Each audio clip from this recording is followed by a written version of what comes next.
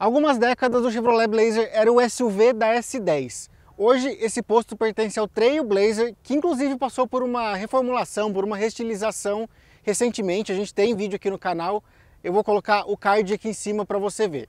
Só que agora o Blazer volta ao Brasil, só que em outro posicionamento. Ele retorna como um SUV elétrico de pegada esportiva e que, por que não, me parece até ser um substituto espiritual do Camaro. Aliás, se você viu o filme da Barbie, talvez você se lembre dele.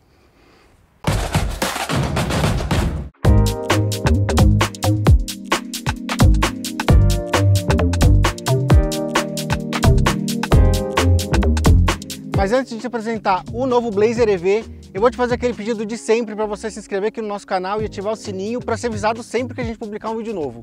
E para ter acesso a tudo que a Quatro Rodas faz, incluindo a nossa revista impressa e o nosso aplicativo que está disponível para iOS e para Android, é só você apontar o seu celular para o QR Code que aparece aqui do lado ou então clicar no link que está na descrição desse vídeo para fazer sua assinatura. Inclusive, vale lembrar sempre que no nosso aplicativo temos todas as nossas edições desde 1960.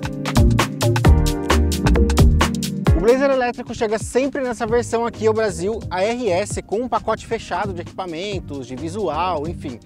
Essa versão RS tem esse apelo mais esportivo mesmo, mas ela ainda não é a mais esportiva, porque aí a gente ainda tem a SS, que pelo menos por enquanto não vai ser vendida aqui, é bem mais potente, tem mais de 500 cavalos, se eu não me engano.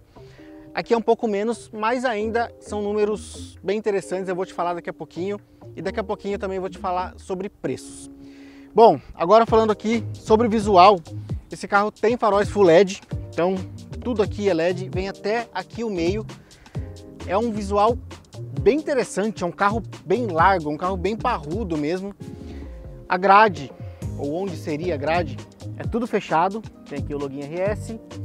Só aqui embaixo que a gente tem algumas aberturas. Falando de cores, que sempre é uma curiosidade, esse carro vem só em tons no branco, no preto, no cinza e nesse vermelho bonitão aqui.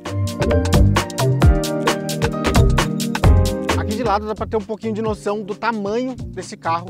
Ele tem 4,88 metros de comprimento, é maior do que um Jeep Commander e um pouquinho menor que um BMW X6.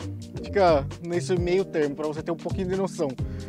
O entre-eixos tem 3 metros e as rodas são de 21 polegadas com pneus 275 45. Ah, esqueci de falar uma coisa, a altura dele. Ele tem 1,65, isso é menos que um Commander, apesar do comprimento ser maior. Então é um carro mais, mais achatadinho, mas é um carro mais parrudo, assim. Ele dá uma, dá uma sensação bem legal, assim, tem um, tem um visual bem legal. Aqui do lado tem aqueles vincos um pouco mais lá no paralama, mas no restante é mais limpo. A traseira também tem uma pegada bem esportiva, também tem um visual bem, bem bonito. As lanternas são... elas lembram um bumerangue aqui, porque elas vão em direção às laterais, mas também descem em direção ao para-choque, full LED, lógico. Desse lado aqui, o loginho RS, do outro, o Blazer, sempre em preto, com o E sendo essas faixinhas aqui em azul para identificar que é um carro elétrico. Para-choque é em preto brilhante, não tem nada de plástico fosco aqui fora desse carro. É, não tem nada, tudo preto brilhante. Gravatinha também escurecida. A câmera de ré tem lavador. E aí, aqui mostrar o porta-malas aqui no meio. Vamos lá, não abriu. Agora foi. É um porta-malas grande, são 436 litros, dá para levar bastante coisa aqui. Abertura, fechamento elétricos. Bom, então agora eu vou te mostrar como que é lá dentro desse carro. Aqui atrás, claro, tem espaço de sobra. É um carro de 3 metros, 3 metros e 10 aqui de entre eixos, então o banco da frente está ajustado para mim. Eu tenho cerca de 75 arredondando e olha isso aqui, sobra muito espaço, dá para cruzar as pernas, enfim. Também dá para acomodar uma terceira pessoa aqui no meio, porque o assento é largo e o assoalho é plano, então dá para acomodar os pés ali sem ter que disputar espaço com o coleguinha. Entre os confortos, os mimos aqui de trás, a gente tem duas saídas para o ar-condicionado Não tem controle de temperatura, de intensidade, mas tem saídas, já é muito bom. Duas portas USB do tipo C e aquecimento dos bancos só para os laterais, no central não tem, mas aquecimento de bancos é bem legal. Bom, aqui é isso. Vamos lá para frente agora.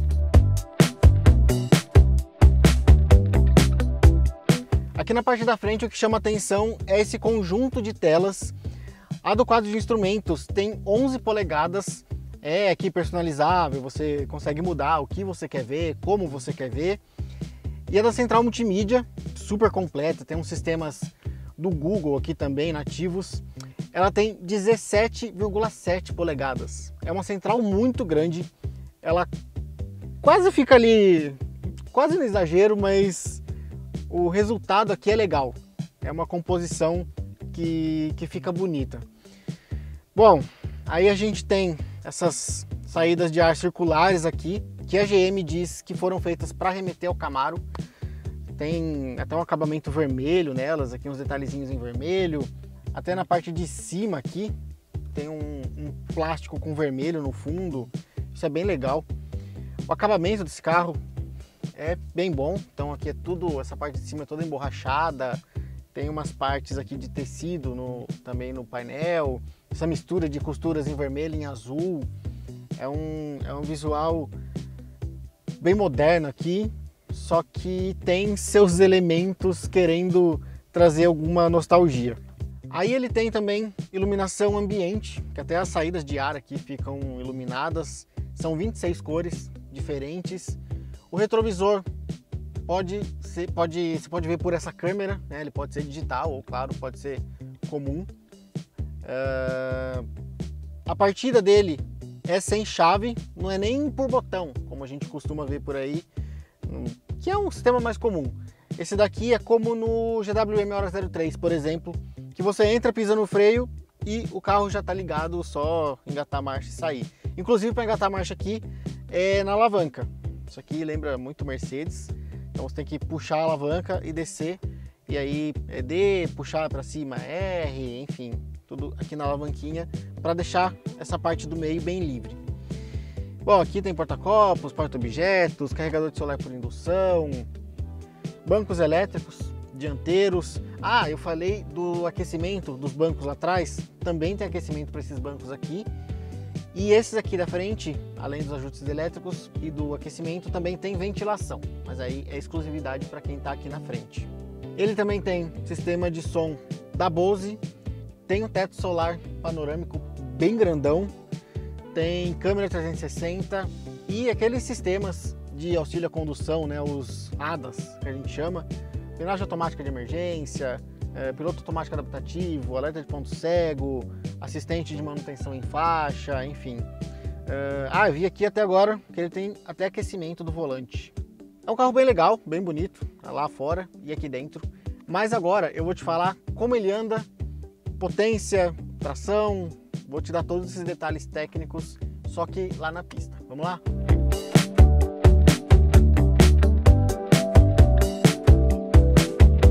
Bom, agora aqui em movimento, com o novo Blazer elétrico, esse carro tem um motor traseiro, ou seja, ele é tração traseira, com 347 cavalos de potência e 44,9 kgfm de torque. São números muito bons, dão um desempenho bem interessante desse carro, com acelerações rápidas. Inclusive esse barulhinho que está fazendo é aqui do uma simulação de ronco, né? um barulhinho meio futurista. De acordo com a GM, esse carro vai de 0 a 100 km por hora em 5,8 segundos. É um número muito próximo do que o Camaro fazia. Então, aquilo que eu falei lá no começo do vídeo, que ele é um substituto de alma, de espírito do Camaro, faz total sentido, porque até o desempenho dele é parecido. Claro, a pegada é diferente, aqui a condução. A gente não tá no Muscle Car, é um SUV elétrico, por mais que ele tenha essa pegada esportiva. Mas é um carro que empolga. Tem acelerações bem rápidas. Não é das pancadas mais fortes que eu já vi, mas é um carro bem divertido.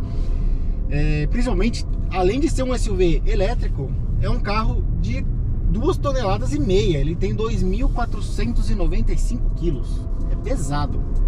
Mas aí a bateria toda no assoalho aqui, o entre-eixos de 3 metros. É, deixa esse carro bem coladão no chão mesmo, as rodonas 21 polegadas tal. Então, ele é um carro muito bem assentado. A gente tem três modos de condução, até eles estão aqui na tela. O normal, o esportivo e o modo neve gelo e dá para dirigir no Pedal.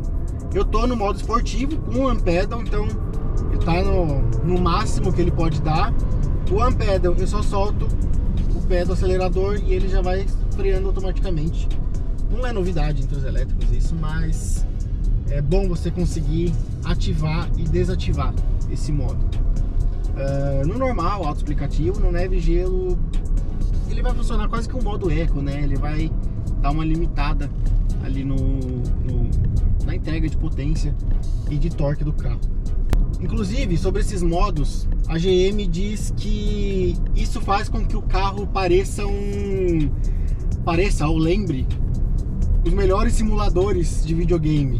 Então, é até legal que a marca assuma que é um carro sem uma pegada tão raiz. É uma coisa mais moderna mesmo.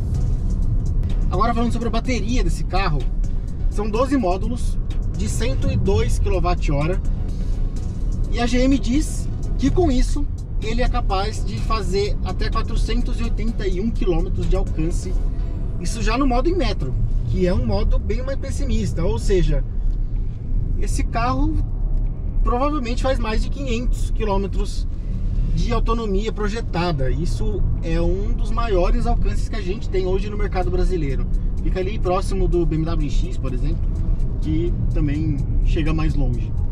Uh, essa bateria pode ser carregada a até 22 kW em modo lento, ou seja, em carga AC, e até 190 kW na recarga rápida, que é a DC.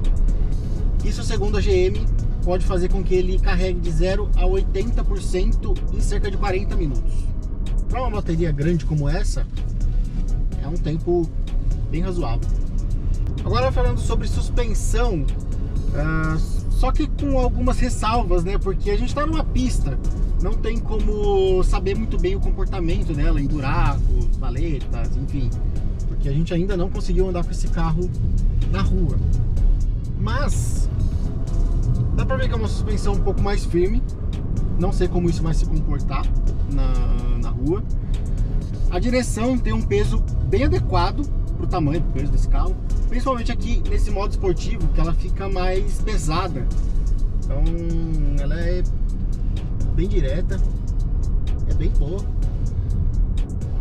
E o carro tem um bom desempenho, ele acelera muito bem. O carro, de novo, já falei algumas vezes mas com uma pegada bem esportiva. E ele empolga, ele empolga. Vamos ver como ele vai se comportar na rua. Mas aqui na pista, achei um carro bem legal. Deu uma saidinha agora, controle de estabilidade me segurou aqui. É a última voltinha que a gente se diverte um pouquinho mais. É... Aqui tem um... Ele vai bem, ele vai bem.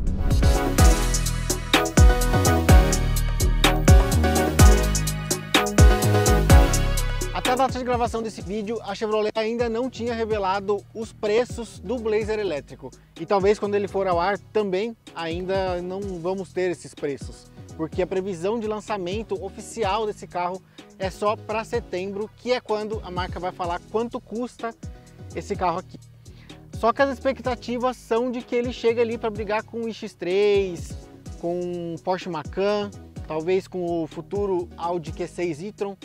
Então não dá para esperar que esse carro custe menos de 400 mil reais. É um preço alto, mas eu acho que ele tenta justificar. Bom, mas agora fala pra gente o que você achou do novo Blazer elétrico. Gostou? Achou legal? Achou bonito? Conta pra gente tudo aqui nos comentários que a gente tá de olho. E não esquece que aqui na Quatro Rodas a gente faz jornalismo. Tchau!